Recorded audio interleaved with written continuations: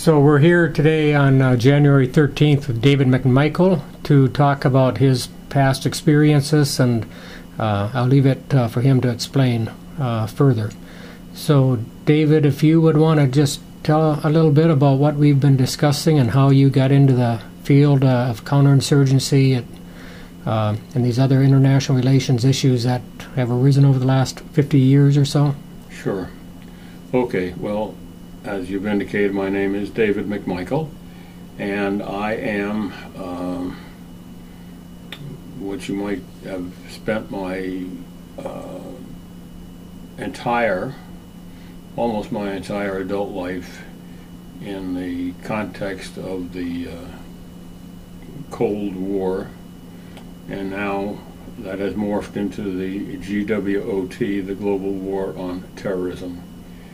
And uh, this uh, resulted in uh, my early enlistment on graduation from high school into the United States Marine Corps, and just uh, just prior to the official end of the Second World War, and uh, uh, following that enlistment, I used the GI Bill to go to college, got my undergraduate degree, and accepted a commission in the uh, United States Marine Corps, which I intended to make a career, and uh, stayed, uh, oh, uh, there for about uh, almost eight years of uh, commission service when, for a variety of reasons, I resigned my commission and felt I'd probably, since I had a family to support, I'd better find out what people did in civilian life. So I thought I'd better go back to uh, college, and was my timing again was excellent because the National Defense Education Act had just been passed in uh, 1958, and so I was uh, uh, made the first uh, NDEA fellow at the University of Oregon. Uh, went out to Oregon in 1959, secured, uh, went through and uh, basically secured my uh, my doctorate there, and uh, and accepted a teaching post at a small college, Dominican College in San Rafael, California, and. Uh, while I was there, I was contacted by the then Stanford Research Institute, now SRI International, which had a uh, number of contracts uh, with the Defense Department. Uh, and since my specialty had been U.S. Uh, uh, Latin American relations, I was considered something of a Latin American expert at the time and had written some articles and op-eds about the United States intrusion, invasion, if you will, of the Dominican Republic in the mid-60s.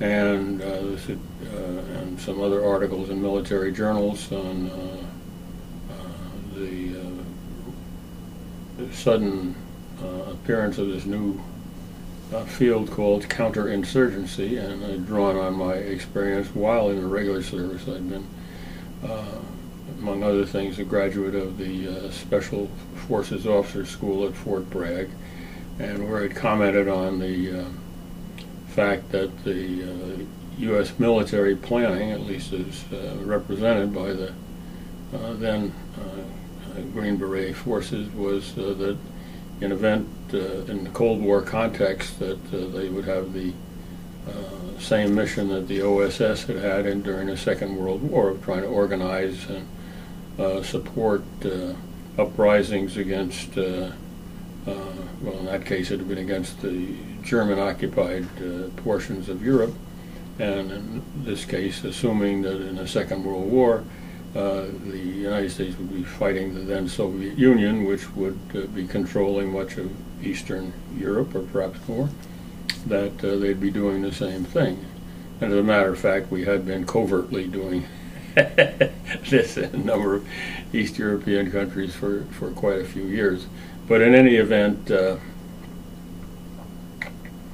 uh, this, uh, by the time I had, uh, uh, you know, mid 60s, uh, um,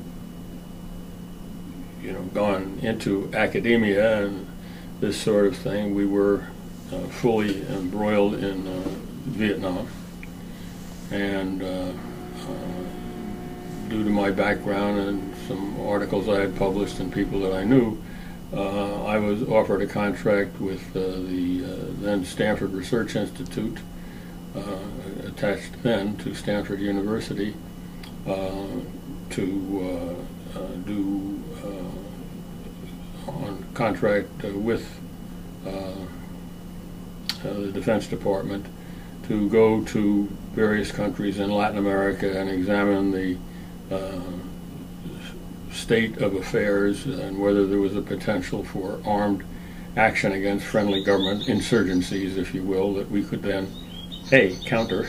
if we could just step back for a second, could Yeah. you tell us a little bit of what you'd learned about OSS? That was the Office of Strategic Services, yeah, right? sure. And what our experience had been. You weren't part of that in World War II, but what the Special Forces took out of it. And I, I guess the subject of guerrilla warfare. Yeah. Well, as I say, this is uh, um, the OSS experience was uh, a, a rather interesting one. It's uh, it's got a mixed history, but it was, uh, uh, and there have been any number of books and articles and memoirs written about people who took part in it, but. the idea of uh, OSS, they say, was to uh, organize, to send small teams into the occupied uh, parts of Europe, very frequently into France and into uh, Scandinavia as well. Um, these were uh, major uh, areas of effort. Uh, and the object at the time was to, uh, uh, we were several, but uh, the main one was to uh, support and organize insurgencies which could carry out actions against the German occupying forces, which could be in support of later, you know, direct military operations. The- the- in history, the, the record is mixed as to how successful this was. However, it uh, became politically significant for a number of reasons. Uh, Uh, one of them being that uh, some later extremely prominent people were uh, involved in this these operations, uh, working out of neutral Switzerland. Allen Dulles was among them, and uh, working uh, uh, from London was a uh, uh, rising. Uh,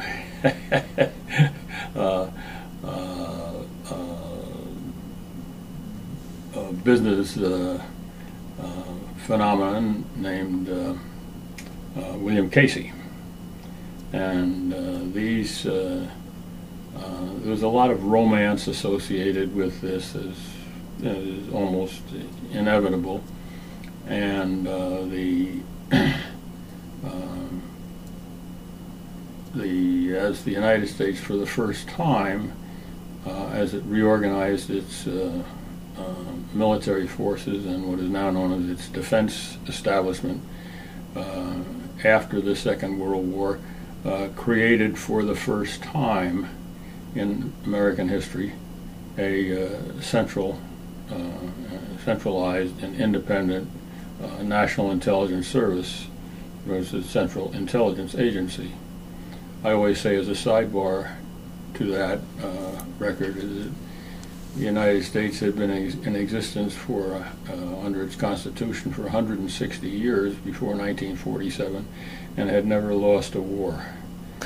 And uh, since 1947, now that we have a centralized intelligence system, we haven't won one. So it's not it's not the best record. But in any event, uh, the inevitably the uh, this new Central Intelligence Agency was uh, staffed and drew heavily upon the those who had had the uh, uh, the OSS experience during during the Second World War, which means that despite the uh, original and highly publicized defense uh, or uh, rationale for creating this uh, new organization, uh, which was supposedly going to be focused on uh, having one central area where uh, information, intelligence, if you will, would be gathered and which would have direct access to the decision makers in the uh, United States government. The rationale for this uh, being, of course, that we did not have a place uh, prior to uh, Pearl Harbor, prior to World War II, where this information was gathered and uh, directed toward the decision makers, and this accounted for the uh, successful Japanese surprise. And of course, there's a lot of historical argument about that too. But uh, just just one more question going back to the OSS. So is it correct to say though when they crossed into enemy lines, German lines, mm-hmm. went into Europe, German occupied mm-hmm. territory, mm-hmm. they weren't in uniform? Oh no. They were. The the question that you asked, it did the uh, representative of the OSS uh, wear uniforms? Uh, no, they operated underground if the they were not in the U.S. military per se, the Office of Special Services. For example, uh, William Casey, who uh, uh, had uh, gotten a commerce-related post in the uh, Department of State and was assigned to London, the, our embassy in London.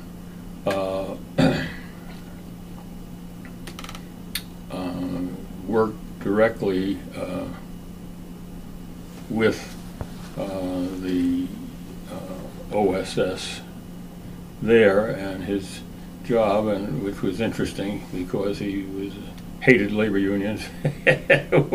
his principal contacts working within uh, in Germany were representatives of uh, German trade unions who still had their contacts in the country and that was the main thing. But this is no. They, they in direct answer to your question, no.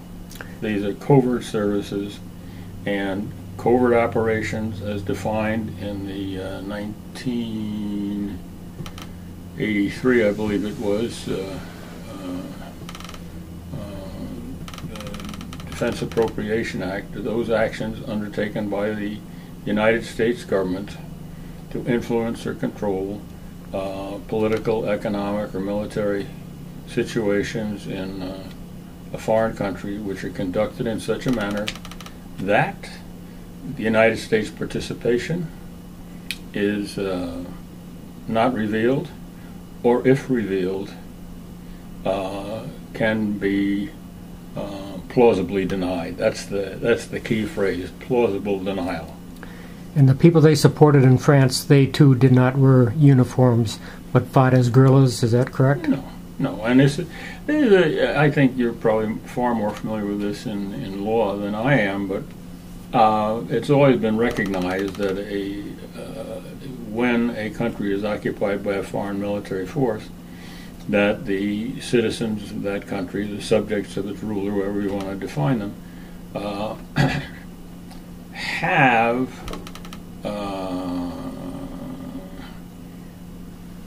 something approaching a right to take up arms to uh, uh, fight against the occupying power, and that uh, they do not have the protections given to uniformed and regular military services. However, it's you know, it's it's a, it's a gray area there, and that they are exercising a right as citizen. And the question continually arises uh, when they take up arms and act as a, an armed force, do they have the uh, legal protections that uniformed armed services have? And uh, I, I, I don't think that question has been totally resolved but it's it's it's one that is, has always been there, and there's a general acceptance, I think, in the, at least in the popular mind, that uh, you know people have a right to to do this. When Paul Revere comes riding into town, you know, I tell you that the British are coming. Do, do you have a right to grab your musket and shoot at them? And it'd be correct to say that the U.S. government had that view at the time because they never held this to be a violation of the law of war. In both the Gulf, first Gulf War and then the subsequent invasion of Iraq, rationale is that the government there, the which is always personalized when you don't like them. We didn't fight Germany, we fought Hitler, and we didn't fight Iraq, we fought Saddam Hussein. That's uh, you know the typical way this is done, but the uh, that you needed a uh, rationale, a legally justifiable reason to conduct what was defined at the Nuremberg trials, as you know, as the ultimate uh, war crime. it's the opening of hostilities against another country. Is uh, that uh,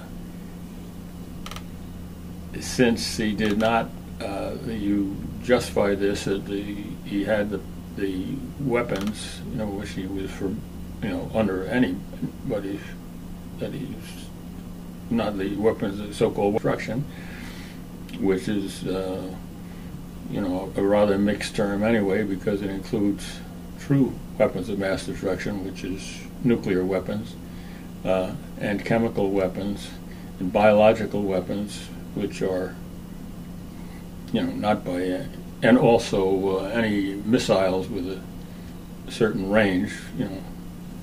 Well, but WMD, weapons of mass destruction, is a handy acronym for this sort of thing. And so um, you undertake uh, a military action in this case. Now, um, when it is shown uh, that the people who undertook it, that is, those decision makers in the United States and the UK particularly, in the case of Iraq, when they undertook it, they knew very well that uh, the justifications they were putting forward were untrue. But we all know what the first casualty in war is. So this makes it, which is truth, and I think this makes a very interesting question for a, uh, you know, those who are uh, for you know various reasons, you know, relating to the laws of war, uh, treatment of prisoners, for example, interrogation techniques, uh, confinements, and uh, identification of uh, who is a legitimate uh, target, the drone strikes and that sort of thing, is that you're you go back to, and again, we're, we're dealing here with the case of Iraq. You, you, and as a matter of fact, you're also dealing with Afghanistan, uh, for a reason we can get into a little later. But the uh, how do you deal with people uh, who and we've had one investigation in the United States on the, as you know, on uh, this, and two, at least two in the UK, and one, one of which is still going on, where the evidence seems to be very, uh, well, or at least there is evidence, doesn't constitute proof, I know the difference, uh, that the people making the decision to commit the ultimate war crime, that is, to open hostilities against another country um, uh, were well aware that the reasons they were giving publicly for doing this were uh, either not true or far from uh, definitively proven. So, um, are these people to be held to account? And then that takes it down to another level, the one which we've been partially discussing here, is uh, how do you treat those individuals whom you find in that country opposing your action, or if uh, uh, you take some of those people using arms to oppose you and imprison them, make them prisoners, or um, you define a whole group of people, whether they take up arms or not, uh, as your enemy if they support or in some cases do not actively oppose those who have taken up arms. Uh, entitled to the treatment which international law, various treaties, the Geneva Convention, set up for the treatment of prisoners of war. All right, my, look, my, my first actual involvement in these uh, sorts of activities is that uh, when I had come back from Korea and left hospital, I uh, uh was assigned to the uh, Second Amphibious Reconnaissance Company at uh, Camp Lejeune, California, Camp Lejeune, North Carolina, and um, this was the um, morphing, if you will, into the uh, Marine Corps equivalent of uh, special forces. It's, as you know, Marine recon, as they mm-hmm. you know now call it, flying. So I went trained with the uh, predecessors of the Navy SEALs, advanced underwater training, and then off to uh, the uh, Special Forces uh, Officer School at Fort Bragg. The short course I should mention. It was only what 90 days, something like that. But the uh, point is that the uh, direction of this uh, uh, training at the time, we were in the, you know, really in the Cold War situation at the time was uh, uh, getting over a, uh, um, a theoretical hitch here is that the uh, special forces, increasingly known as the Green Berets, were uh, deliberately designed to be the successors to the Office of Special Services. And this is a, a little bit background here is uh, if you follow this, as I have over the last half century or so, see a constant effort on the part of the uh, uh, U.S. Department of Defense, of the American military, to gain control of or maintain control of or to uh, have the, the, sole control of anything that resembles uh, armed activity. And specifically, this has meant the long term feud between the uh, Central Intelligence Agency, which is the, one could argue, the linear descendant of the World War II Office of Special Services,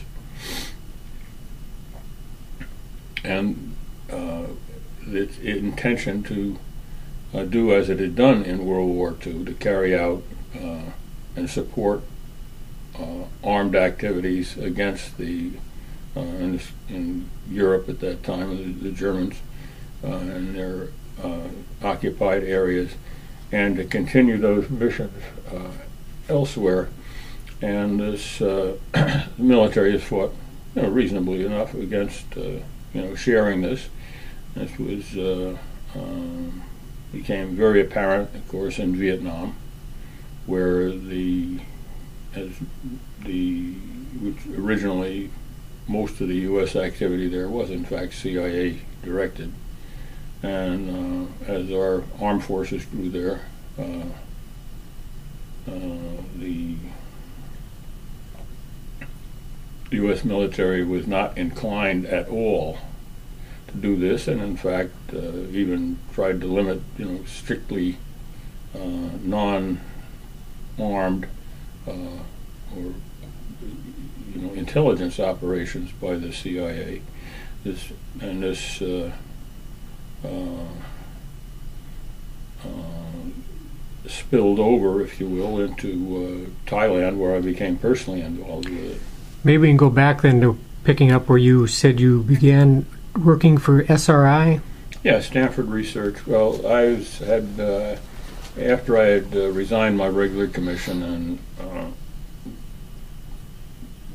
uh had since I had a family to support, didn't know anything about civilian life. I thought I'd better uh, uh, go back to school and see what I could find. And as, as it happened, this was 1959. The National Defense Education Act of 1958 had just been just been passed the Russians had uh, sent their uh, satellite into space, you know, and frightened us to death that uh, we were falling behind. This is, usually produces uh, some uh, legislative response, as you well know.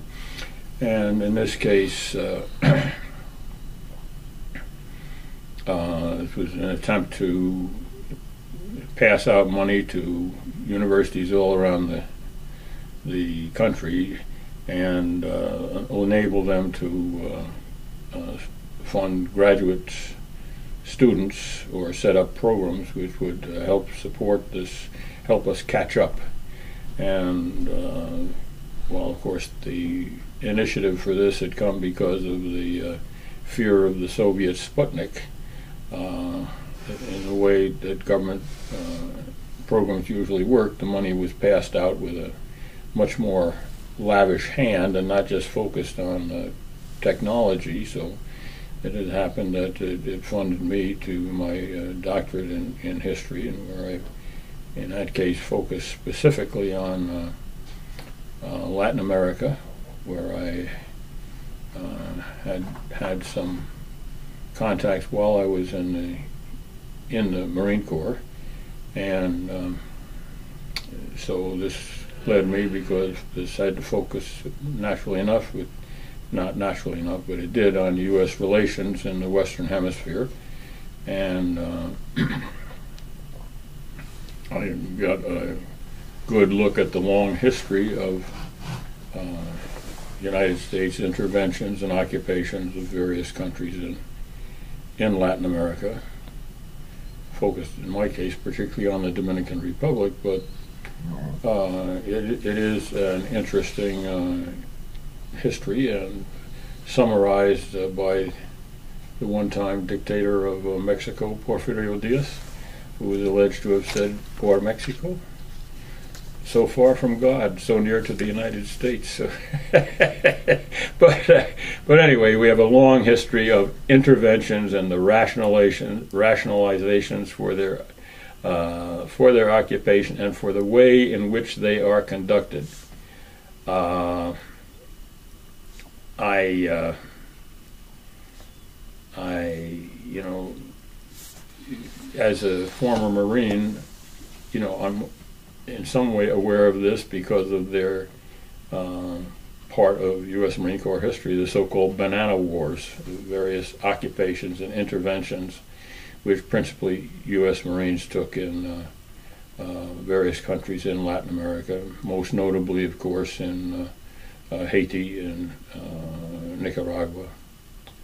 And the actions there, once again, because we, we can focus again on this question that you're dealing with. You know, how legitimate is this? Okay. Um, and w- what you're what you're getting into is a matter of uh, uh, historical precedent or law, and I think there there is a relationship between the two. Am I correct in thinking that? Yes, it goes to state practices. Yeah. Okay. So. Good. Good. For example,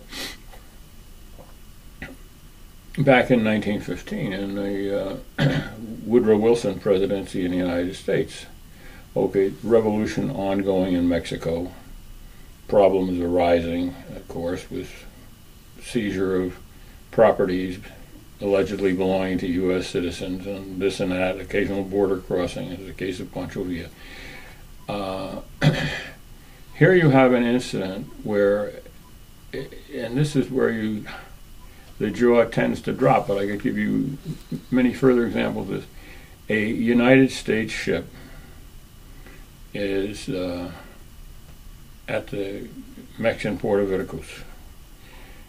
It sends a boat in to pick up supplies ashore. Okay?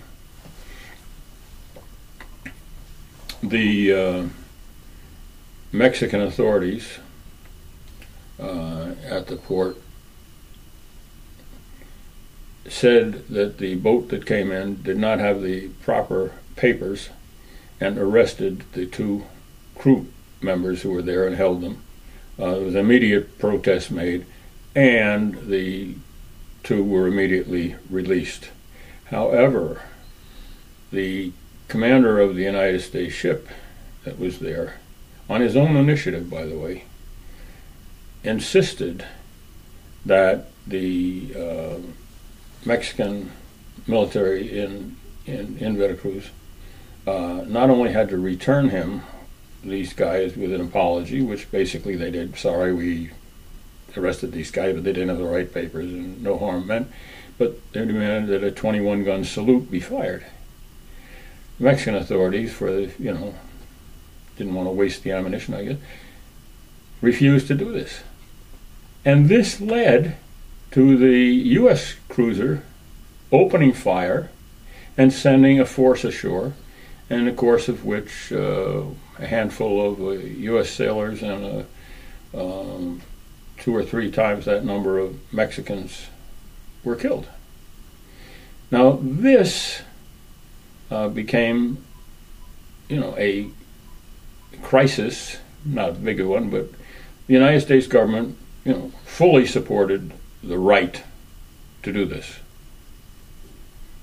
So, I mean, this is these are the sort of things that have happened, uh, you know, over time. I mean, we can even in more recent times go back to the Falkland War and, uh, between the UK and uh, Argentina.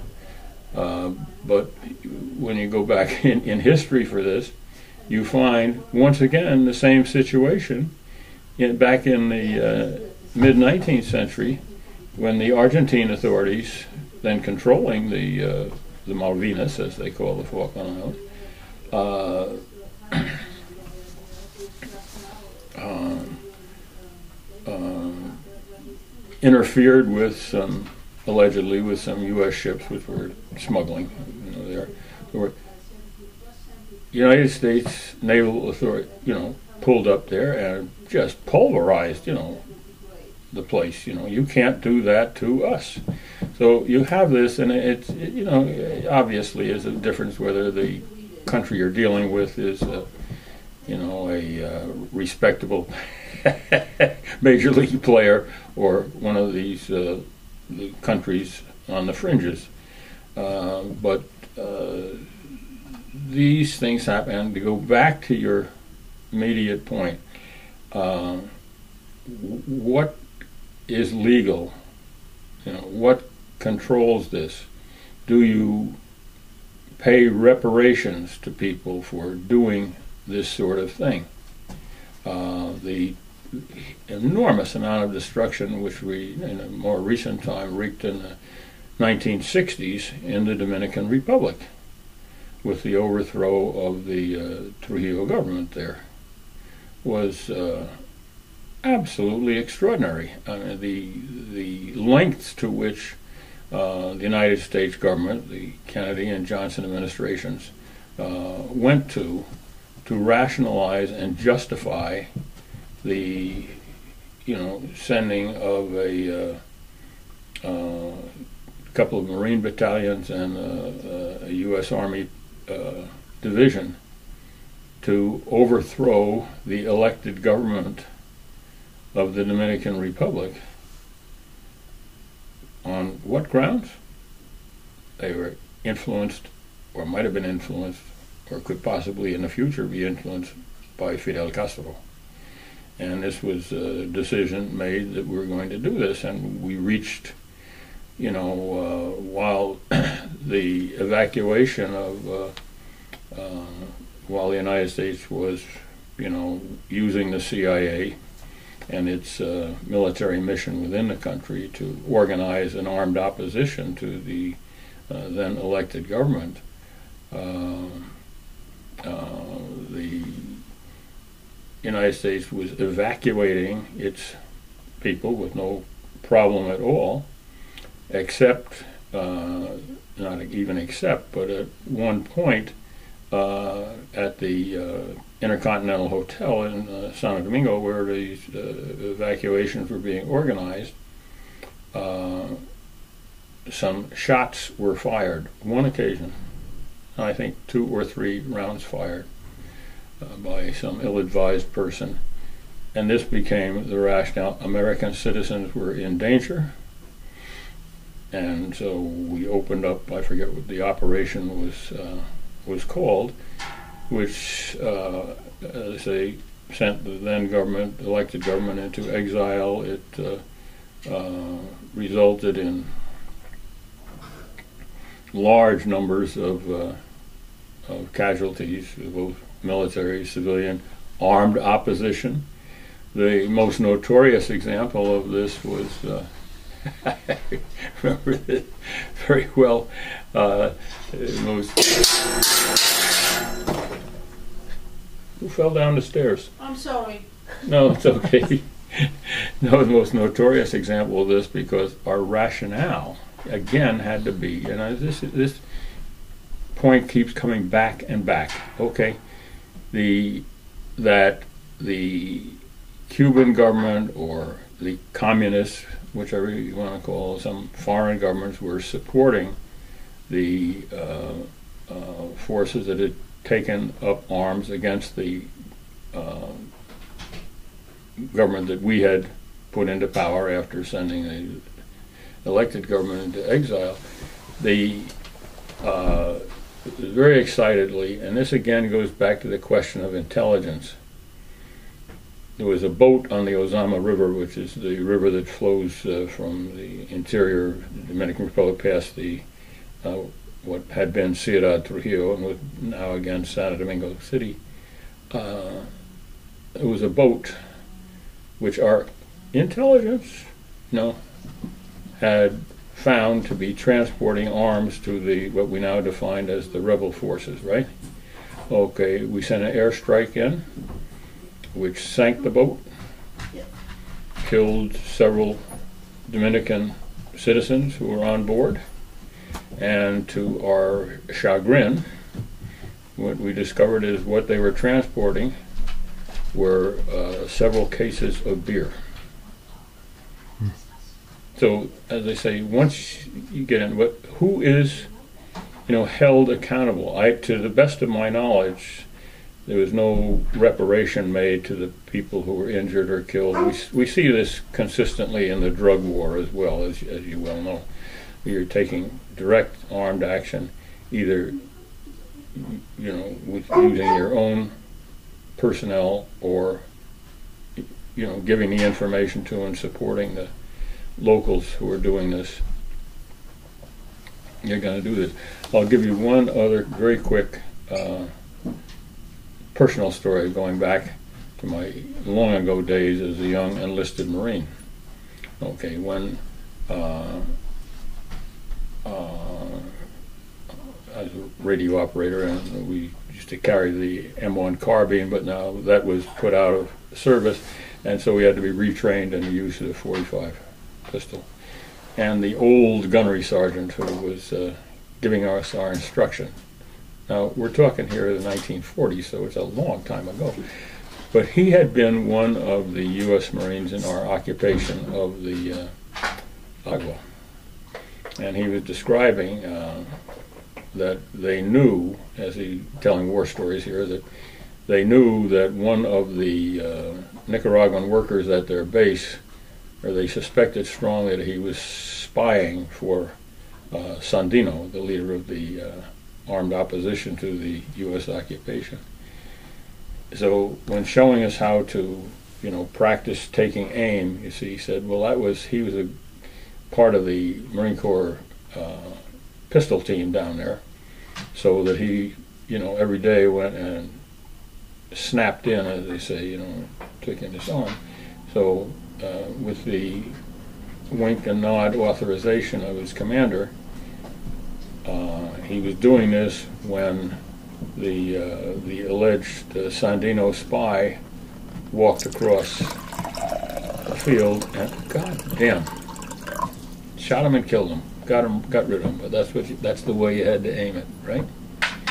So what I'm saying is these kinds of whether we're being anecdotal here or relying on historical record or testimony of something else is once you put your armed forces in these places, uh, you know, it's inevitable that you have what appear to be violations of, you know, international law, Geneva Convention, or, you know, common, common practice, and so that, uh, uh, and again, this also extends to, um, uh, the way you handle people who are suspected of participating in the, uh, uh, you know, resistance to your operation. And, and it's, you know, it's a consistent pattern. So uh, what's happening at uh, Guantanamo, what's happening at uh, Bagram, what's happening in these uh, rendition sites is not surprising. And this is further complicated, I would argue, when you are dealing with uh, uh, non, uh, well, just to put it this way, non-European uh, individuals. They are not, we know from our own experience in the days of the Filipino insurrection, which continually comes up in the discussion of waterboarding, what you do with slopes and googlies and uh, gooks. You know, it's it's, it's different because they are different, and you're you're going to get this this sort of treatment. So uh, you're dealing with a cultural aspect of, of this as well. My belief.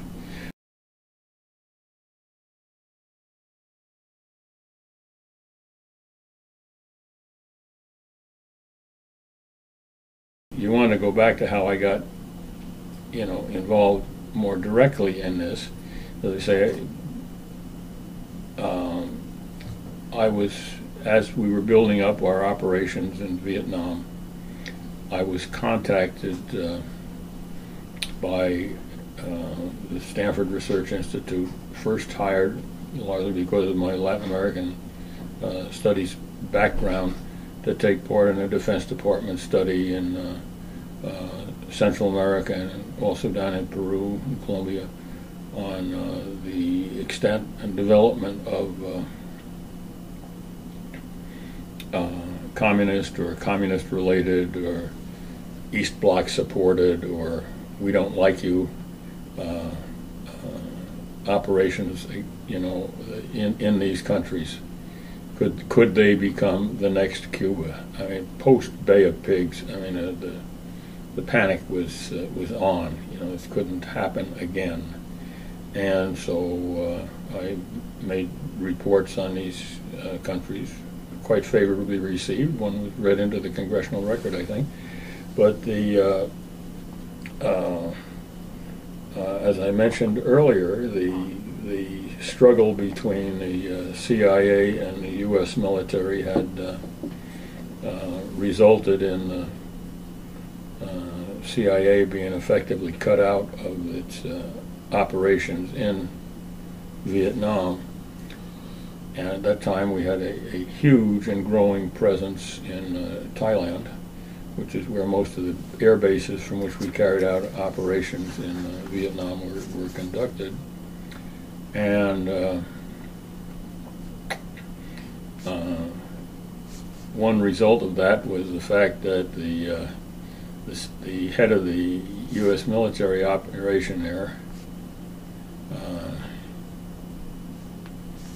and uh, the uh, CIA station chief guy named Red Jantzen, by the way, uh, were hardly on speaking terms.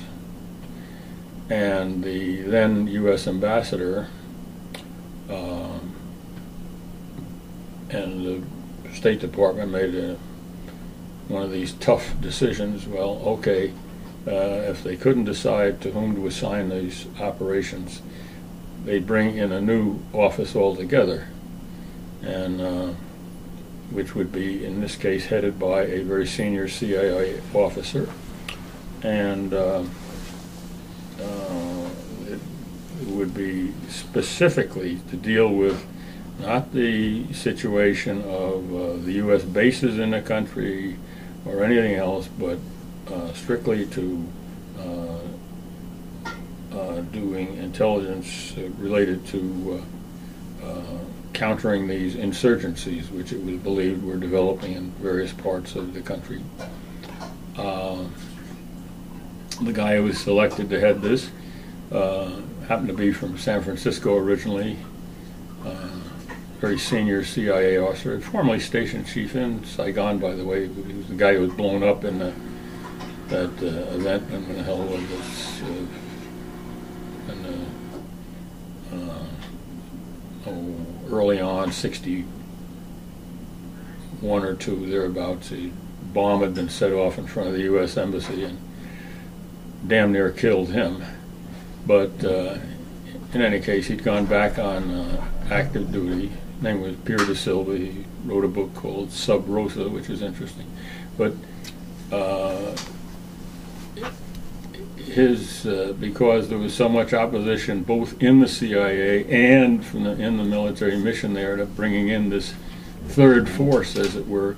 Uh, he was only allowed to bring a secretary, a personal assistant, and I think one other person with him, and would have to pick up the rest of his staff from people who were on in country. Okay, well, the, I had already joined the uh, uh, SRI office there, uh, which was doing something. I forget, but but in any case, De Silva, wondering what to do when he stopped by in uh, the San Francisco area, which was his home area, and he stopped to see one of my colleagues, who formerly a senior CIA officer, had been a himself, and he mentioned this problem of his, and my colleague said, well, uh, if you just want people who are already there, Dave MacMichael is there, so I was taken away from that mission and put in De Silva's office in the U.S. Embassy, and that's where I spent most of my time at the Special Assistant for Counterinsurgency. And uh, so it was, uh, as you say, just becoming increasingly a uh, uh a concern. I don't think the problem was as serious in uh, Thailand as people thought. But again, you had, and this is one of the things that intrigued me, uh, the constant, and I've seen it there most personally, but I've seen it elsewhere as well. Uh, you know, struggle between various branches in the uh, U.S. Uh, military slash security situation, uh, uh, trying to control things. And in this case, one more, to me, most interesting applications of this was that um, as I said, the uh, one of the major concerns with this huge uh, uh, number of U.S. controlled air bases and how are we going to make the security of these, you know, and the Air Force particularly and its uh, intelligence system was really moving hard. They wanted to, you know, develop their own network of informants in the areas, you know, around these bases. The U.S. policy was that at these bases, and this was strongly held by the Thai government for its own reasons, said, no, you have to, you cannot, you know, organize your own intelligence here. You have to stay on your base, and we'll give you the information which you need. So uh, uh, this got to the point where a uh, interagency task force was set up, of which I was designated a member, to deal with this question. And as it turned out, I wrote the final report for this thing, which was basically said, you know, keep them on the base, and we can use these other systems that, that are out there.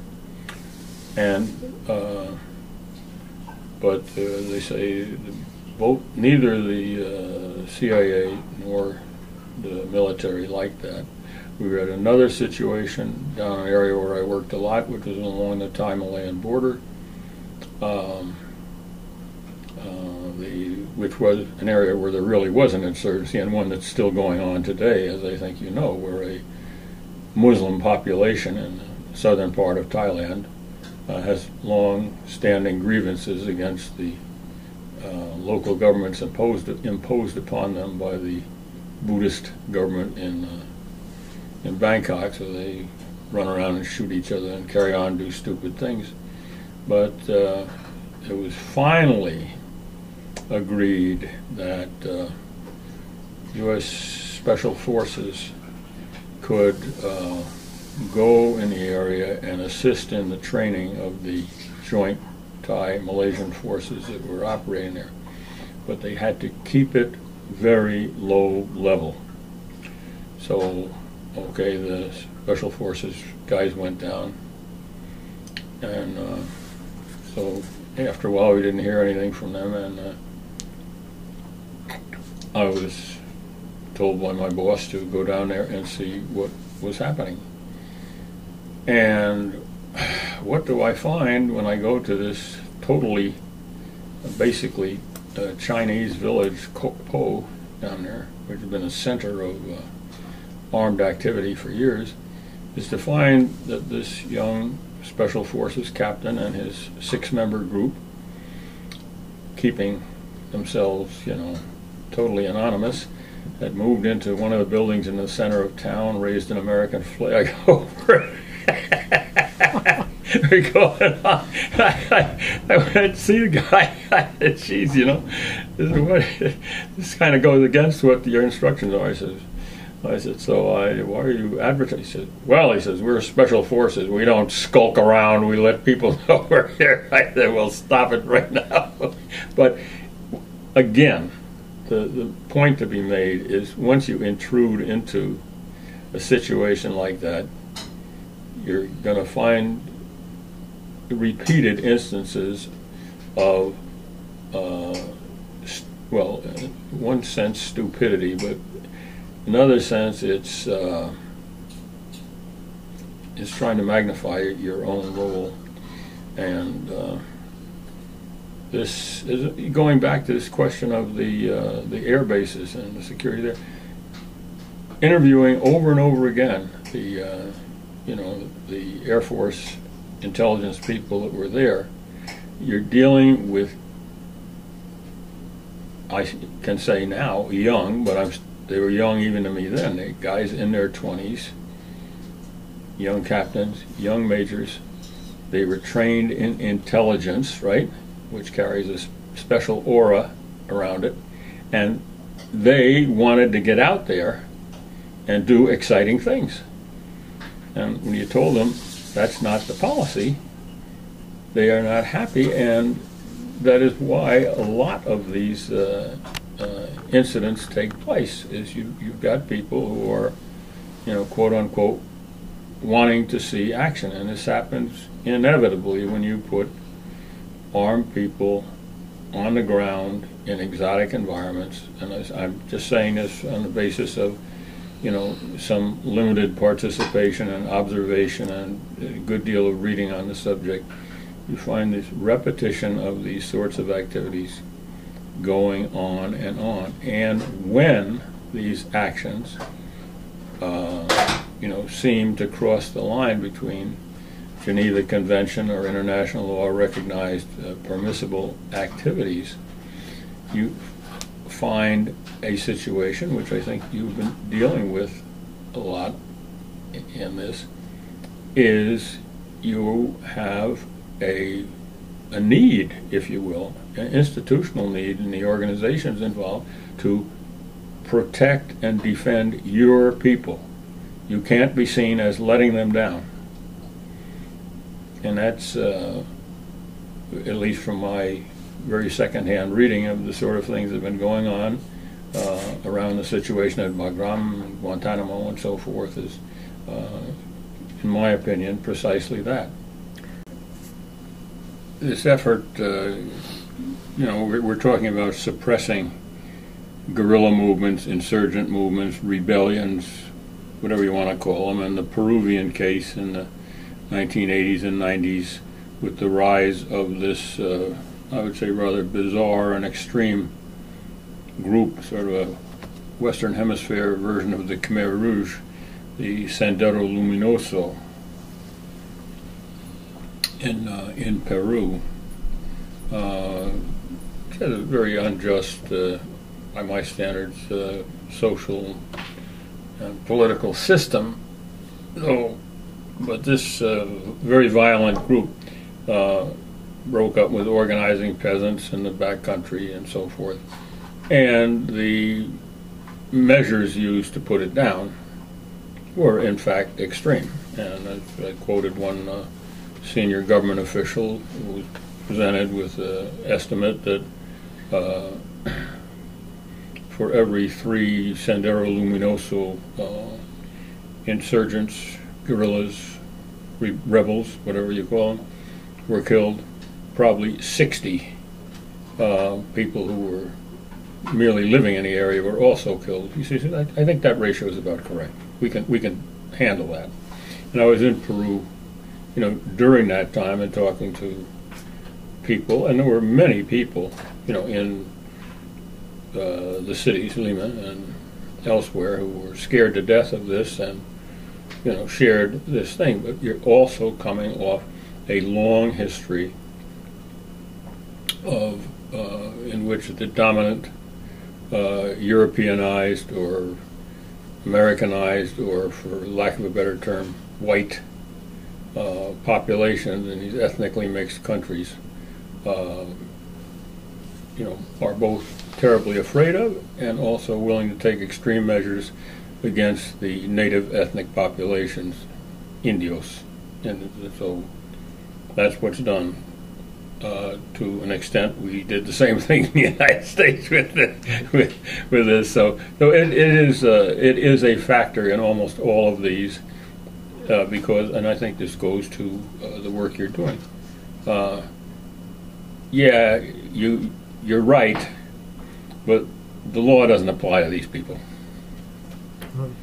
So uh, that is, these these are experiences you know from history happen, and you can anticipate that sim- under similar circumstances, if you engage in this in the future, you're going to do the same things and make the same rationalization, rationalizations and excuses for doing it. You're, you're aware of the Phoenix program. Do you see this? And, and then, of course, the uh, Latin American counterinsurgencies, what often called the dirty wars in the 1980s, and, and obviously Peru would be part of that. Mm-hmm. So, do you see that too often? Perhaps uh, we've adopted that as a counterinsurgency method to. Yeah, I think the Phoenix program was Oh, all yeah. about taking Look, out the so-called look, look, look, infrastructure. One, one of the reasons uh, you find uh, demonstrators frequently led by the uh, uh, priest Roy Bourgeois uh, demonstrating at uh, the headquarters of the uh, what used to be oh, the Americom you know, training center for, in Panama, which has been moved up here to Fort Benning, I think it is. Uh, School of the Americas now. Yeah. Yeah, not not called the School of the Americas now. It's the inner uh, Yeah. hemispheric whatever system, Okay. and uh, which has from its very beginning, you know, persistently declared that uh, one of the reasons for the training and indoctrination of the military leaders of uh, various dictator-led or military-controlled countries in the Western Hemisphere is to inculcate, uh, uh, you know, respectable standards for the conduct of uh, operations in these groups. Yet these same groups carry out the most atrocious, and have over the past 25, 30 years, the most atrocious uh, uh, operations. Colombia continues to be an example of this. Um, no matter what one thinks about the uh, the opposition there, but this, uh, as I say, the, this this happens persistently, and it does involve, and this has been shown over and over again, you know, Guatemala and El Salvador, uh, uh, particularly in Dominican Republic, and that the uh, military or uh, quasi-military CIA forces operating for the United States, uh, they will support and uh, not take serious action against our uh, allies, if you will, who carry out most extraordinary violations of, uh, of both their own domestic law, international law in general. There's no there's no apology for it. Over and over again, you you can meet with the people. I have uh, in these military missions and in uh, they, and they will, uh, you know, far from my view, far from uh, attempting to restrain their counterparts, they come to identify with them. You know, these are these are our guys. You know, I go out to the club with them, and so uh, I'm not to, you know, rescind. Of course, you're uh, in the same situation that uh, almost any uh, person, whether it's the United States or not, which maintains a mission in a foreign country, is yeah, you might not identify with the practices carried out by the government of that country. It may be the policy of your government, in this case the United States government, to uh, uh, oppose these sorts of things, and you will, you know, write the appropriate uh, uh memoranda back to the State Department and the cable back explaining that you met with the Minister of the Interior and expressed concern about this, and he should, uh, you know, cool it, so forth. But if you're going to work in that country, you can't, you know, just face up to the guy and say, "Hey, you know, you can't do this. It's fine. Here's your here's your papers. Go home." We left off a little earlier uh, talking about Thailand mm. and your the job you did in Thailand. Yeah.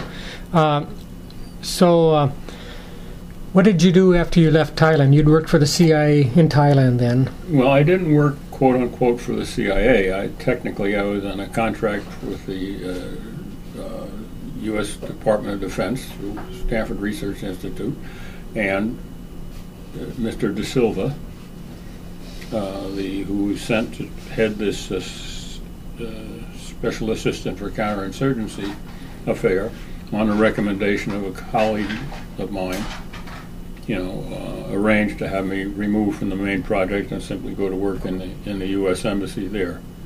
And we weren't part of the CIA station. It was made quite clear.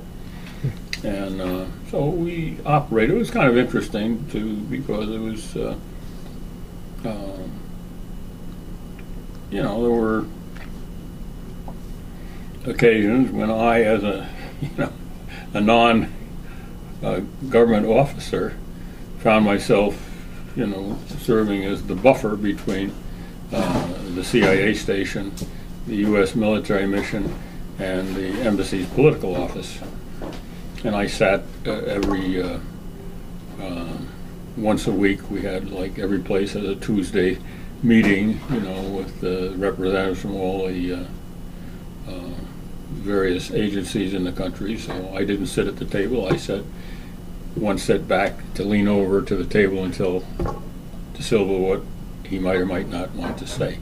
But uh, you know, it was uh, it was an up close experience. When I when I left and came back to the U.S., uh, I found an opportunity to get out of the uh, security related uh, operations and went to work for another branch in uh, in SRI, carrying out long range futures studies. It was uh, it was okay, and then uh, I had a in contract research.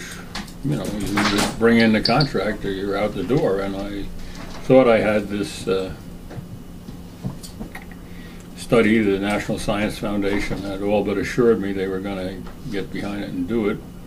And I still think it would have been an important study. It was on uh, the political, economic, social consequences of the, uh, you know, aging of the American population, something which policy issue. They, but in any case, they didn't. And uh, uh, so I'd been there for about a dozen years, and I they told me that I'd better look for something else to do, and I, they say I went into that.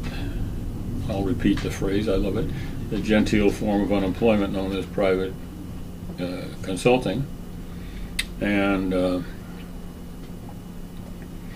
as it happened, I had come back to Washington to uh, do a contract for one of my clients, and uh, when that was over, I uh, was here in Washington and uh, uh, notified by a friend who was uh, still working in the agency saying that, uh, you know, with this stuff I'd been doing in long range futures and so forth, that there had just uh, opened a new, not new office, but established a, you know, a, a project within the uh, CIA uh, where they would bring in uh, people with good backgrounds and you know new ways of thinking to work in an office that had been established to prepare the national intelligence estimates of which you hear so much.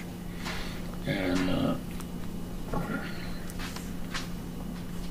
so uh, as it happened, I said, well, that sounds interesting. And I was out on a run, uh, going across a golf course up uh, in, uh, you know, somewhere uh, in Fairfax County. And uh, I spotted on the golf course one of my former colleagues from uh, Thailand out there playing golf. And I said, oh, hi, Les. And I said, you still go in? He was retired then. Does he still go in the building? He says, yeah.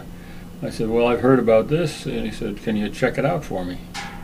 Oh, fine. So uh, uh, he uh, called me up a day or two later. Said, "Yeah, here's the guy to see." Made an appointment, went in, and then checked me out and uh, hired me for this uh, this uh, office. One of the reasons this was done is that preparing these national intelligence estimates sometimes gets to be a fairly lengthy thing and the, the various, you know, branch offices in the, you know, or the company, you know, focused offices in the agency are frequently reluctant to let go of their, you know, top people, best qualified people to be away from them for three, the three, four months sometimes it takes to do this. And so well, they bring in some people from outside, and uh, so uh, I was brought in, and it was a very uh, good working relationship for uh, several years. But my focus again was back on Latin America. And this is the early 1980s, and what we're talking about is uh, the big focus is the Contra War, all right? Being justified, of course, by this shipment of arms to the Salvadoran insurgents by the uh, uh, leftist elected, well not elected, but assembly, but the government of Nicaragua that had overthrown uh, the Somoza government there. Something that uh, great embarrassment to the CIA. I can tell you is their their last report before Somoza fled into exile was he's solid.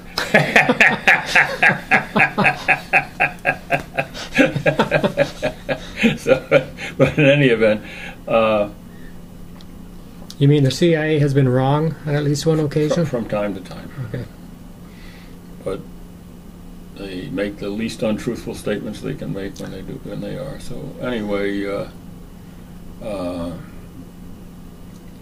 long short of it is that uh, I was focused as necessary on this conflict, and I I'm pretty my academic training and experience in, in the field tells me look hard both for the evidence and at the evidence. And we could not come up with evidence you would take into traffic court that would, uh, you know, support these claims of these shipments of weapons, which was the rationale for our training and financing and arming the so-called Contra rebels, which were basically the old uh, uh, Guardia Nacional of, uh, of uh, Nicaragua. So, you know, it uh, led to any number of confrontations and some difficulties for uh, my boss, a very nice man, now deceased, Harold Ford. Hal Ford, who had the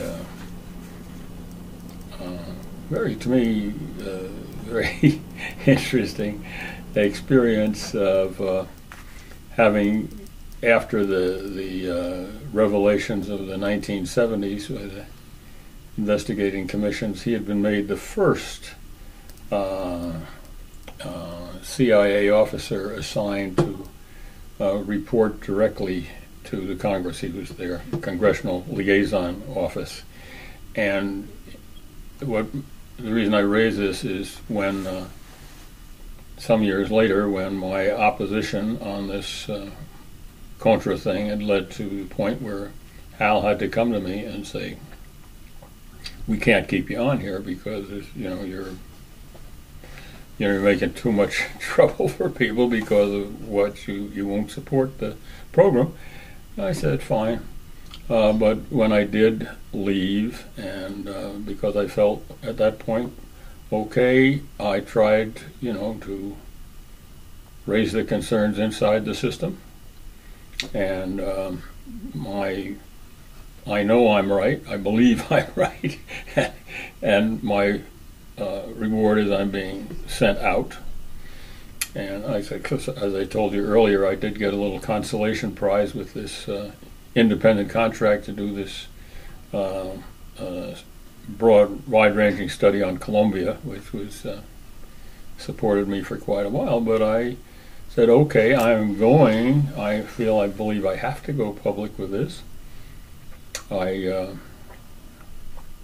contacted some uh, lawyers, uh, Ramsey Clark being one of them and explained what I wanted to do, and I, I realized I was bound by my obligation not to reveal classified information. And I said, what my argument is going to be, I am stating that the administration is supporting uh, on claims that it has this evidence, and I'm going to say they don't have the evidence. I'm not going to reveal anything I'm just going to challenge the administration if they've got it, reveal it. And my statement is, I'm not revealing classified information. I'm just saying there's no classified information here to reveal. That's why I'm making a mm-hmm. statement.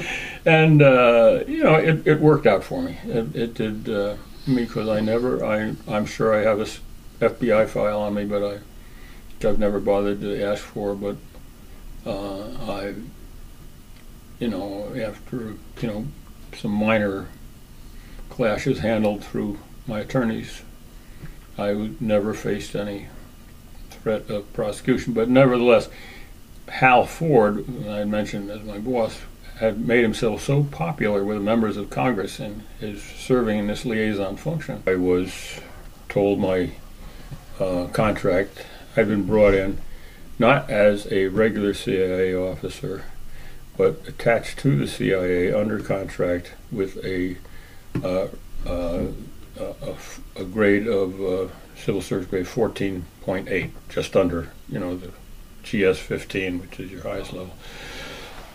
so, um,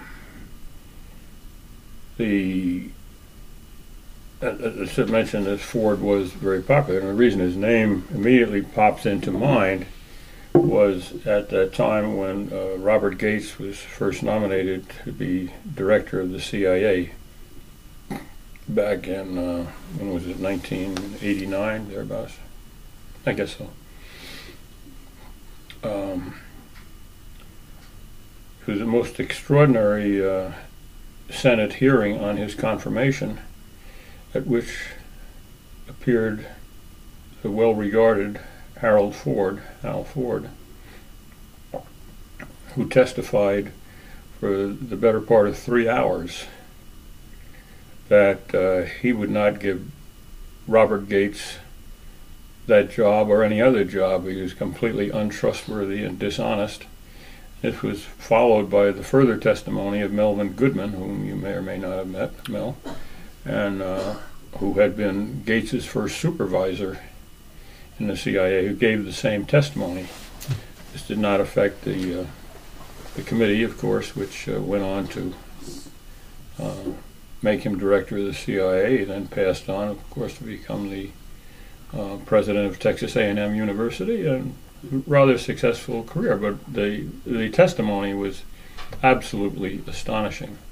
But in, we were getting back as to what I did at, after the time I left I identified, became, you know, held, was given the benefit of a very good uh, press conference uh, hosted by the New York Times um, branch chief here in, in D.C. and was then, you know, uh, in the papers and um, went about uh, working with different groups and Um, speaking uh, against this policy, particularly in Nicaragua. Went back to Nicaragua, did a lot of traveling, talking to people, and so forth. So, if I can just interrupt for one second. For, so, to be clear, then, while you've talked a little bit about our United States government's counterinsurgency program, the Contras, they would have been insurgents that we were supporting. That's correct. So, and we could, did. This was again very interesting the way in which we did this. We of course, denied we were doing it. You know, this is. Uh, we we mentioned the definition of covert operations earlier. You know, where we say that we undertake these actions uh, and conceal them, but if revealed, we can plausibly deny them. Well, we kept denying this, but it, of course was very implausible. And the, this war against Nicaragua ran on for the better part of 10 years. Many thousands of people killed, tremendous cost, and wound up in the uh, uh, that the Nicaraguan government uh, uh filed a case against the United States in a world court at The Hague, which I was called as a witness. The uh, the verdict ran, uh, I think there were 12 judges on the court, and it was uh, 9 to 3 uh, against the United States, with the U.S. judge, a member of the court, who, strangely enough, did not uh, recuse himself in his case. and I think the Japanese uh, representative also voted for the United States. But in any event, the uh, uh, this led to the next stage in which uh, damages were sought, which were estimated at about $16 billion. And uh, uh, in the following elections in uh, Nicaragua in the uh, late 80s, the opposition candidate won, I would say largely on the, because the United States made it very clear that the, if the opposition candidate did not win, we were going to continue the this, you know, painful and destructive war. There were some other aspects to it, but in any case, the uh, in a textbook example here, we had an election, and the the opposition party won. The supposedly dictatorial Sandinistas tipped their hats and left power and are, are back in again, or at least Daniel Ortega is. But uh, but that's uh, that's what I devoted myself uh, to for a lot of time. I, you know, wrote articles, uh, traveled around speaking, and uh, um, during the same period, uh, I helped organize a group of former CIA officers, the uh, uh, which uh, Dan Ellsberg, who was not ex-CIA officer, but the uh, Association of Intelligence Professionals, and published their magazine unclassified here in Washington, which dealt with uh, these matters. And focused heavily on it. And uh, you know, and the, the high point of that, I guess, uh, over the years was uh, when I was contacted by a group of uh, former Russian intelligence officers. Uh, the Cold War over, right? So they invited me over to Moscow. I spoke over there and then made arrangements to bring dele their delegation over here and took them on a countrywide tour, you know, saying, okay, Cold War over, uh, what, what are we going to do with these intelligence organizations, covert operations, et cetera, et cetera. And uh, then, you know, after that, a lot of uh, you know, they say Cold War was over, and so the uh, funding I'd been receiving from various interest groups uh, petered out, and I thought, well, I'm now 66 years old. I think I should retire, which I did, and used the first year of my retirement to take a nice long walk across the United States from Drake's Point back to Washington, D.C.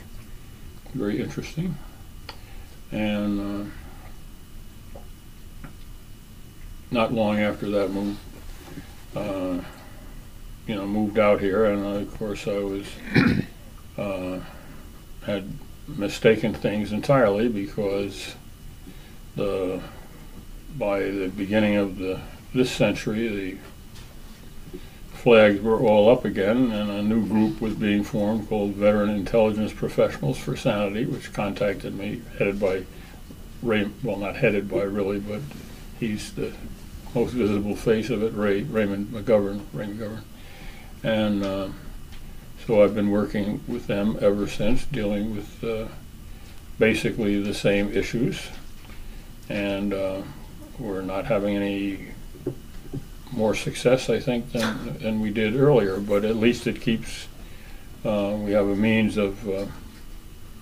you know, joining in the discussion and keeping the discussion going.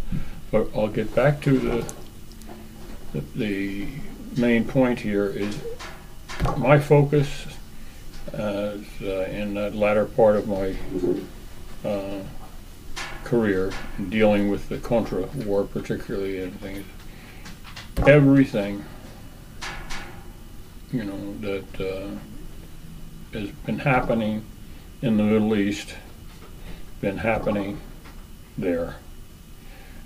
The United Nations did a uh, intensive investigation in the uh, early 90s after the peace process in uh, Central America had over much United States opposition actually gone forward and uh, restored a laying down of arms and, you know, listed a tremendous, you know, the, there are atrocities on all sides, but in El Salvador particularly, they pointed out, the vast majority of them occurred, you know, by organizations that were uh, funded by, directed by, assisted by the United States. And in the process, um, more than one, you know, United States citizen was killed, as we all recall the issue early in the Reagan administration, where a group of uh, American citizen nuns uh, were ambushed by the Salvadoran National Guard, and uh, three of these women were killed. And the complaints were raised, but the U.S. Uh, ambassador to the United States at that time, uh, Jeane Kirkpatrick, now deceased, uh, loudly proclaimed that uh, was they they weren't nuns, they were radicals. So that's why they got themselves killed. And this sort of thing happened with great frequency in El Salvador, just as it was happening, uh, you know, in uh, in Nicaragua. But the fact of the matter was, and this was at, at that period when I was, you know, operating within the agency and able to examine the correspondence and so forth, and, and uh, the involvement with uh, despite the proclamations of, you know, we're helping out, but we're again at that situation where the uh, your advisors, if you will, the people who are in there, tend in I shouldn't say inevitably, but with great frequency to identify with uh, the forces they are assisting. I still remember a cable that I was uh, uh, read in which the head of the uh, U.S. Uh, uh, uh, military assistance mission in Guatemala is flying with a, he's sitting in the co-pilot seat with a Guatemalan Air Force plane which is attacking uh, one of the insurgent groups, peasant groups, whatever you want to call them, and uh, he is uh, recorded as uh, you know shouting excitedly as the strafing begins. Dales, Dales, give it to them, give it to them. so it's hard to. Uh, oh, this is a point I'm making. It is hard on the basis of my arguably limited experience with for those people who make up the advisory missions with these groups, whether they be in the intelligence system whether they be you know directly military or not, not to uh, identify with, to support, to excuse, even directly to assist actions which are you know demonstrably in violation of what I believe are the laws of war, or in many cases, uh, you know, simply uh, decent human practice. But they do, and these these wars get, you know, extremely personal and violent, and they're highly politicized, of course. And you know, these are very small countries. You know, a lot of people know others, and you have the the dirty war in Argentina, the same thing in Uruguay, which, by the way, you, the, I will raise the name of Philip Agee, now deceased himself, a dedicated. Uh, uh, CIA officer, you know, strong Catholic anti-communist background, goes in the agency, becomes the operations officer in Latin America. He's in Uruguay. He goes with his station chief to visit the Minister of Interior in uh, Montevideo on some matter. The Interior Minister's office is in the same building where the prison in which, you know, the, the tortures and so forth are, are being carried out. And you can hear the screams going on in the office. And Phil, when he, he leaves with his boss, he says, you know, this is this is terrible. What are we going to do about this? He says, pay no attention to it. Don't report on it. That's when Phil began to turn. And uh, you know. But it's once again I raise this uh, simply to point out that we have a very long and consistent history of uh, in these conflicts, be they covert or overt or uh, large scale or small scale, in which the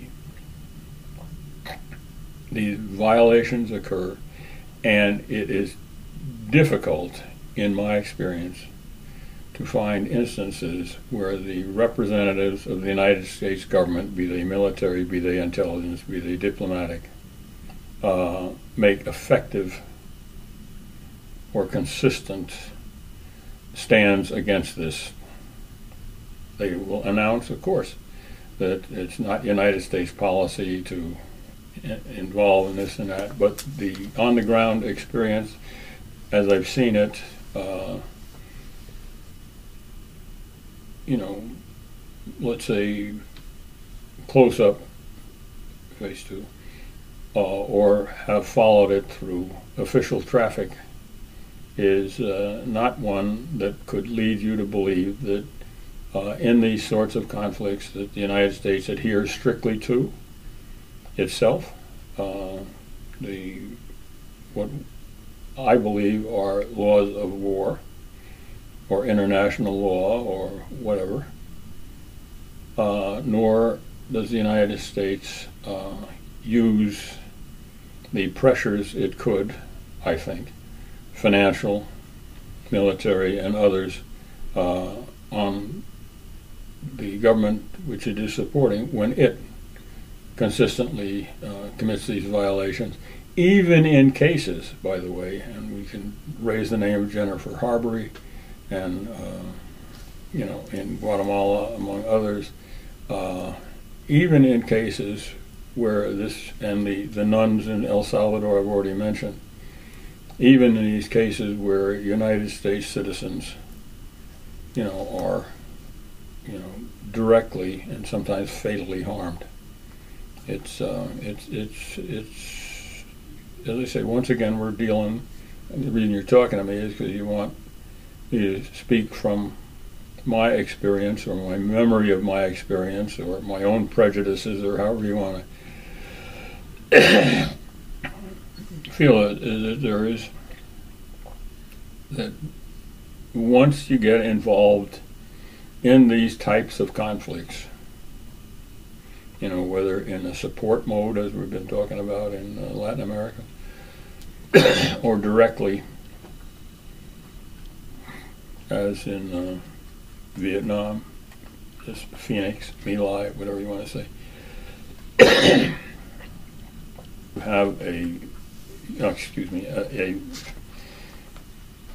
you know, a consistent record of vi- both of violations of what appear to be law, what is said to be policy, and uh, on the other side of that, and again, we look at uh, My Lai, Lieutenant Calley, and, and there's many other instances of this, as you know, in, in Vietnam, where individuals, you know, carry out these serious violations of law and uh, they either are punished or punished very lightly. We're seeing the same things arising in uh, Afghanistan and Iraq, and uh, and we've talked about some of the reasons for this. Of course, and you're if you're a commander of a unit and your guy is uh, done something and uh, first of all, you don't want to take responsibility for it yourself. you know, you're, you're going to uh, come up with all sorts of uh, arguments about the ex- extraordinary circumstances in which the incident occurred, and um, and you're going to get your, your people off the hook if you can. So, I don't I don't think that that's uh, unusual in uh, history of any country.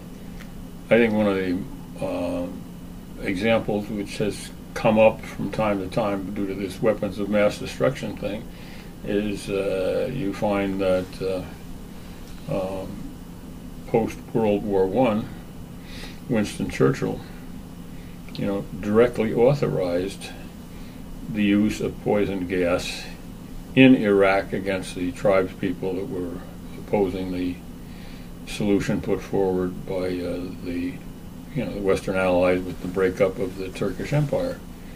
He said these are, you know, it expresses it, you know, quite well. You know, these are savages, and uh, they don't deserve any better. And if I can, you know, uh, use this weapon and not risk the lives of, uh, you know, British soldiers in, in, doing this, that's what we do. I'm paraphrasing, of course. Right.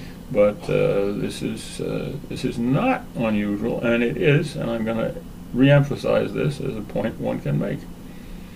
It is a nearly inevitable consequence of, you know, engaging in, first of all, in any type of warfare. And where it is uh, covert, you know, it's uh, typically is worse because covert means you've got something to hide. And uh, so I, I'm not, as I say, I don't, I have to really, uh, you know, in thinking about this, say, okay, if, uh, you know, the, these violations of laws of war, whether it be at, uh, on the field itself or in the prison, Bagram or uh, Guantanamo, uh, who you know, is going to be held criminally liable if, in fact, this goes toward a, a criminal case type resolution. So, your point about Churchill and poison gas on the Iraqis sounds like something like what people are saying today about the use of drone warfare, drones on uh, various people in the Mideast. Uh, you know, same sort of attitude that they're outside the law, or mm-hmm. any similarities that you see there? Oh, I, I definitely see the similarities. I mean, when you're you're dealing with, uh, and this is always a, uh, you know, at least for the this whole period of uh, Western European United States dominance and the age of imperialism and so forth, you're uh, your justification is uh, whether we did it in the Philippines or uh, whatever we the crap we carried out in the, during the occupations in the 20s of uh, Haiti and Nicaragua. You know, I mean that's basically the response. I mean, here's the idealist, Woodrow Wilson, who authorized both of those, you know, invasions and occupations is a man who believed very firmly, South Carolinian by birth, believed very firmly that what he then called colored people, black people, did not have a capacity for self-governance and should not be allowed it. I mean, that was just a, a, a way that he believed. And uh, so, and it was no consequence that at the same time, as President of the United States, after he took office in uh, 1913, in all government uh, uh, situations in Washington, D.C., he reintroduced racial segregation, which had not been enforced there since the end of the Civil War. He made it very clear that it, it was unreasonable to expect, uh, for example, that uh, women, uh, uh, white women postal employees would be required to work in the same space as a black man or a black anybody. I mean, this is these are the things that more than I think most historians or most observers uh, want to acknowledge that govern a lot of the policy. This is why it's okay to waterboard those Filipinos 100 years ago, and why it's perfectly okay to waterboard uh, some Arab, some raghead, whatever you want to call them, in uh, the 21st century. You, uh, in regard to My Lai, you said, I think you said, uh, just clarify, you said that too often people doing things such as that are either not punished or punished very lightly. Is that what you said? Yeah. Yeah. And then, That's Lou, Lou- the officer in charge there, Lieutenant Calley. right. as you know, received a six-year sentence. Uh, he was uh, uh, subsequently uh, allowed to serve it out under uh, a very limited form of house arrest in his hometown and run a reasonably successful jewelry business while he was doing it. And then another question, you mentioned the American uh, flying in Guatemala with the Guatemalans who were attacking some. yeah, and this was this People. was uh, I forget his name. He was a colonel. He was the uh, head of the U.S. Military Advisory Group there, and he was so excited, you know, that he was up there actually seeing this, and he, that that's the phrase I remember in the cable: "Dales, dales, give it to him, give it to him." Is it reasonable to believe that uh, some of the atro- as some of the atrocities in Guatemala were regarding killing civilians? That uh, some of the people might have who were under attack might have been civilians in this, you know, villagers or whatever. It's, inevi- it's, it's inevitable. Remember the CIA manual that uh, allegedly was disseminated to the Contras? hmm Talks about assassination, I believe. Yeah, yeah. Well, uh, yes, I, I do recall that, but uh, you know, I, I not enough of this. It was it was used, and I, I think the evidence was uh, fairly clear, uh, demonstrating that uh, the United States government, through the through the CIA, was endorsing and uh, instructing in the conduct of illegal uh, activities. Yeah. And then uh, you uh, you'd actually referred me to a documentary, so I'm putting in a plug for it. Panama Deception. Mm-hmm. Uh, anything to uh, say about that in regard to uh, President Bush at the time, uh, H.W. Bush, and uh, anything else to add about Robert Gates in that relationship? No, I can't. I can't think so. It was, uh, yeah, it was. It was a complicated situation, and well, they always are complicated situations in Panama. But uh, we had, you know, employed these services uh, in various ways of uh, then head of state Manuel Noriega, president in uh, Panama and there was a uh, strong movement that uh, the, the film is very good, by the way. It deserved its Academy Award. The, uh, uh, the very strong movement to uh, uh, get rid of him, as, uh, which uh, again, in, in any one of these instances, you know, wh- whether we're talking about, uh, you know, mentioning again the Dominican Republic before, what was that, Operation Fast Track or whatever the hell they call it, uh, that, uh, you know, that led to the American invasion and occupation in, uh, when was it, 64?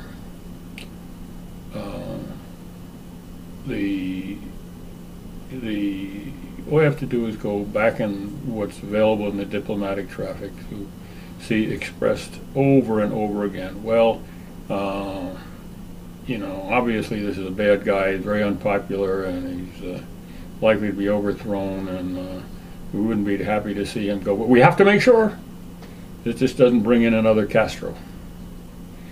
And the, the term is used over and over again. This was, uh, so, um, this, it was just such a,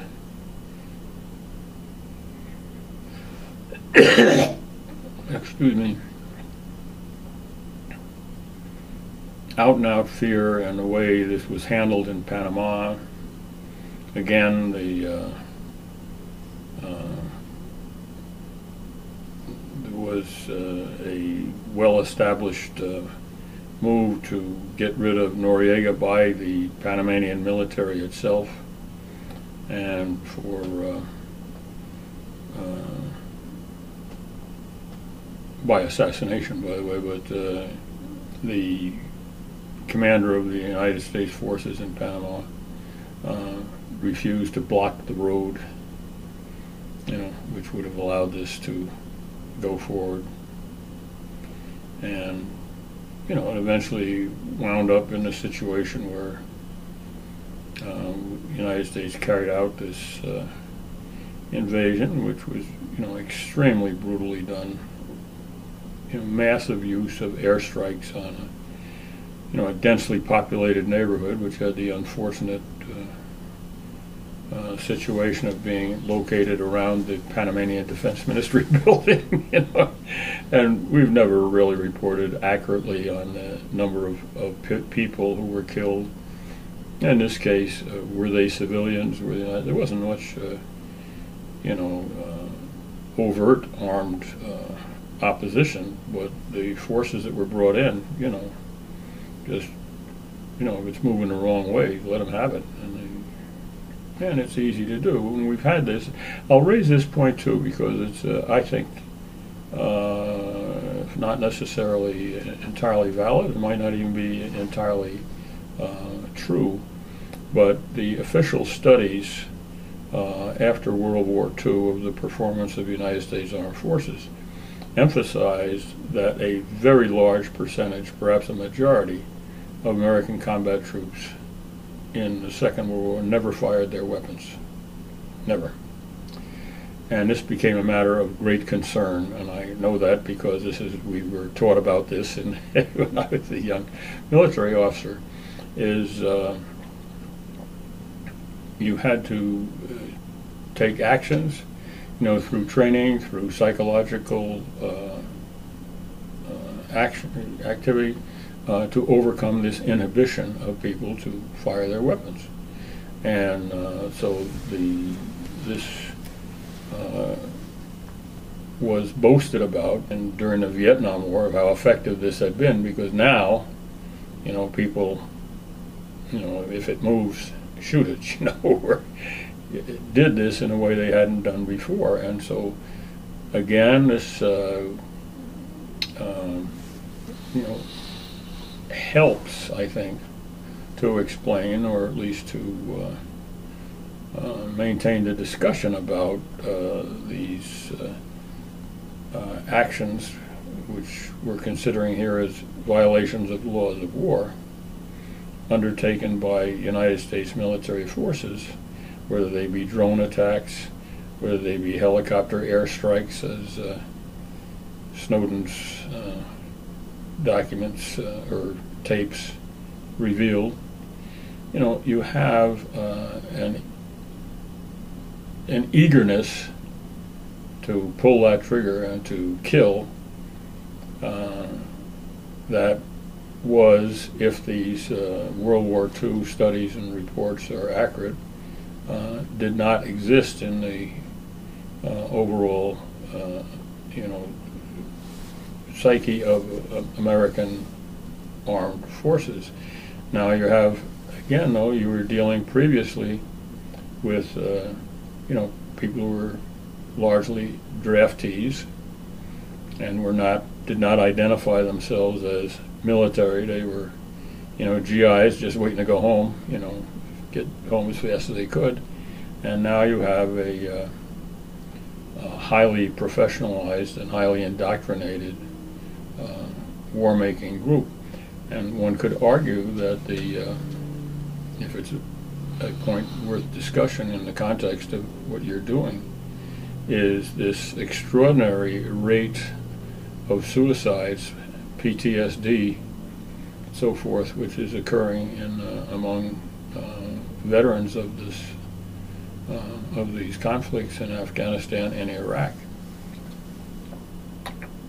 means that the underlying reluctance to engage in these activities, no matter how uh, eagerly or willingly uh, one participates in them as a result of training slash indoctrination, whatever, um, you know, is is still there. And I think that this uh, is underlies in an important way the types of laws of war that we have. Just two final questions. Uh, make it two part.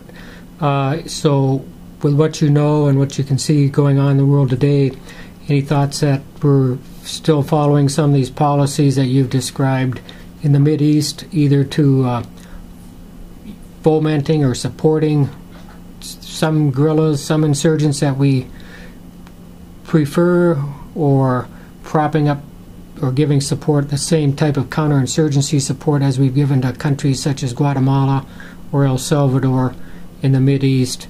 And then finally, uh, anything you'd like to say about Sam Adams Associates for Integrity and Intelligence and Mm. who Sam Adams was? Okay.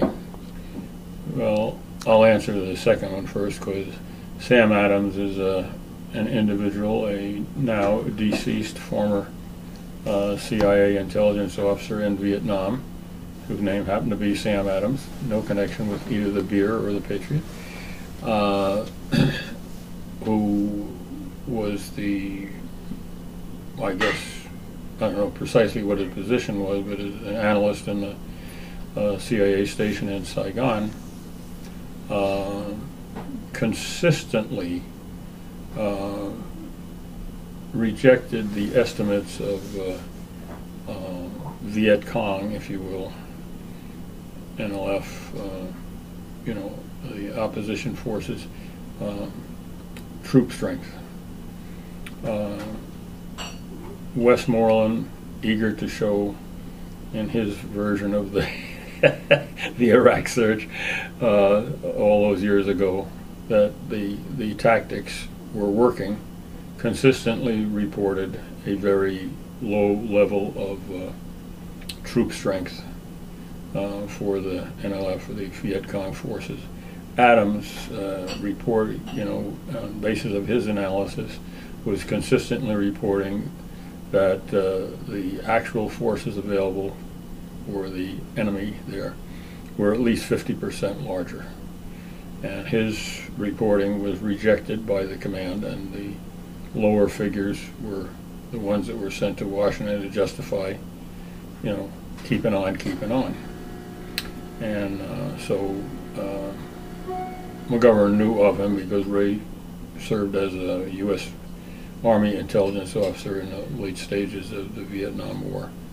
And so uh, uh, Adams, uh, you know, kept within channels. He didn't make a big fuss, but he, you know, raised enough issues within the channels that uh, it effectively destroyed his career. So the Sam Adams Award is uh, one given for integrity in intelligence. He, you know, he did careful and well balanced analysis without consideration for outside factors, and uh, you know, reported it through channels and paid the price in terms of his career. I will say uh, one of the in regard to this, one of the documents that crossed my desk uh, while I was working in the embassy in uh, in Thailand around this time was uh, a uh, message intercepted from uh, the the area along the old famous Street Without Joy there, which was the Marine Corps area of operation in Vietnam. And I was interested to see that the reports that I that you know came regularly across my desk, and I noted them. Uh, every six months or so, the uh, Marine area would report that they had successfully cleaned out and destroyed all of the Viet Cong units there. I think I told you this before, but the uh, uh, the the cable I got was you know from the leadership group of the NLF in that area, and it effectively endorsed that they'd been wiped off. But it was addressed to the uh, people in the villages of the you know District One, and it said, uh, and this is a very close paraphrase. Your grandfathers and your fathers and your uncles died fighting the French. Your cousins and older brothers, you know, have died fighting the Americans. Now it is your turn to die. Come. And they came. That was the point about how intense, you know, this was. And, uh, you know, the fact that people were not, you know, assigning the, you know, the real value to this intense cultural nationalist struggle that was going on, but, you know, wanted to simply rely on body counts, you know, was uh, something that uh, eventually had to be dealt with, and it led to a thing. Now, you asked me about one other The, question. the Mid East, any similarities? Oh, Anything to say about this? Oh, goodness gracious. Uh, this uh, whole question of who you select, you know, who were we supporting in the uh, in Afghanistan to get rid of the uh, then, you know, Taliban or even the very secular and relatively uh, civilized uh, Soviet-supported uh, government there. Okay, so we, you know, sought out, you know, those who would do this, and uh, you know the the Soviet-supported government that had the you know temerity, you know, to grant uh, significant rights to women, among other things, you know, and it couldn't be tolerated by. So you had you know people the you know, we call them religious fanatics or the Afghan equivalents of Tea Partiers, whatever you want to call them. But uh, these are people who believe their whole value system was being threatened, severely threatened by this, and uh, working with the United States government, which had made its own determination, you know, that it could not tolerate a uh, uh, let's say, a, a Russian-friendly, Soviet-friendly government in Afghanistan, and which was still stewing over our own, you know, defeat and, if you will, flight from Vietnam. Uh, you you can read these accounts in popular literature, and there's some basis for it in the documents, a few that I've been able to see. Strong elements to say, you know, the Soviets have to suffer their own Vietnam. This became what is known popularly as Charlie Wilson's War, supported heavily by the uh, Texas Congressman Charles Wilson. And uh, this brought in we this uh, guess who? Al Qaeda and uh, uh, Osama bin Laden, who came from a very wealthy uh, family of Yemeni origin, which had uh, ensconced itself in the Saudi Arabian economy with huge construction firms. No, it was bin Laden who brought in the money and the other support. So, you know, he was there. About in, uh, in other circumstances, other instances, you put yourself in these positions and adverse consequences, whether they be uh, physical or moral, uh, frequently occur.